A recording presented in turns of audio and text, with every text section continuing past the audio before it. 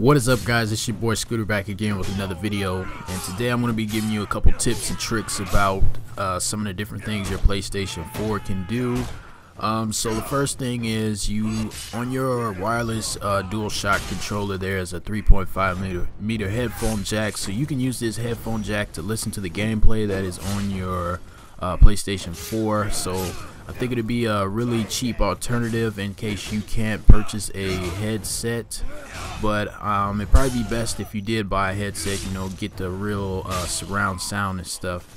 And then the next thing that I'm going to say is that you can use your cell phone I believe it's on Android and iOS to use it as a keyboard instead of using your controller uh, to type out those long messages and stuff. So you can just basically type out the messages on your cell phone to your friends and whenever you get messages and stuff. So I think that's really great in case um, you ever have long messages.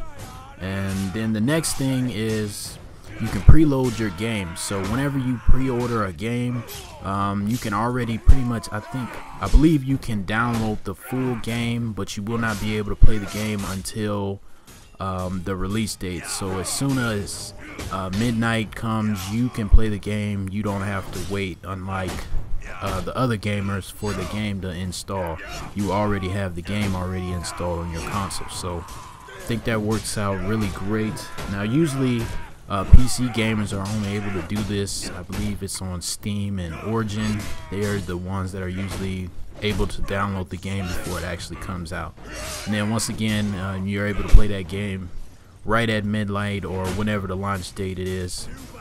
And then the next thing is you can charge your devices while your PlayStation 4 is in standby mode. So that um, works out really great. So you really don't have to have your PlayStation 4 actually on to charge your controllers and stuff. So that works out perfectly. And then so what you need to do is you need to make sure that in your settings that you um, turn on the standby mode and it allows your PlayStation 4 to download the updates as well as um, download games as well as uh, charge uh, make the USB ports active while the console is in standby mode.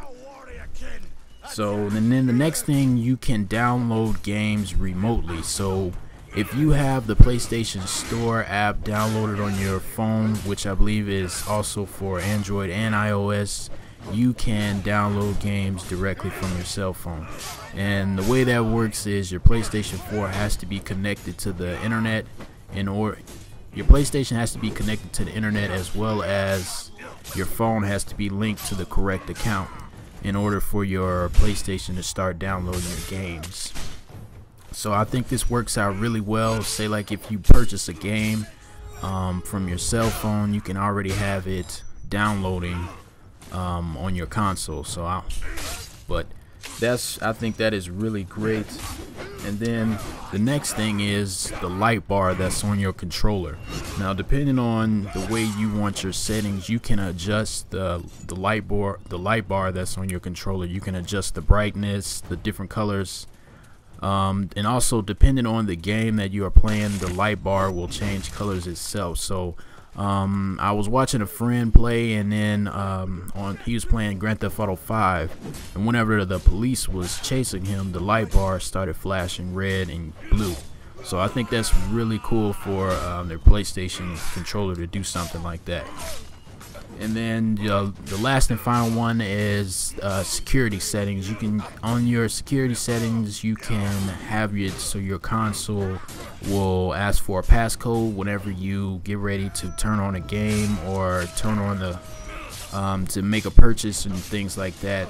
And then also you have your parental uh, parental um, guides or password I mean so whenever, if say like you have children, you don't want them purchasing games, using up all your store credit and stuff, you can set a passcode and, um, to use that.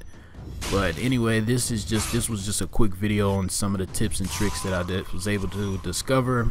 And uh, be sure to leave your comments and thoughts down below in the comment section, and I will be sure to reply and check them out. If you have any more topics or whatever that you would like, be sure to leave it down there in the comment description, and I'll be sure check it out. And I'm signing out on this. Catch y'all in the next one. Peace.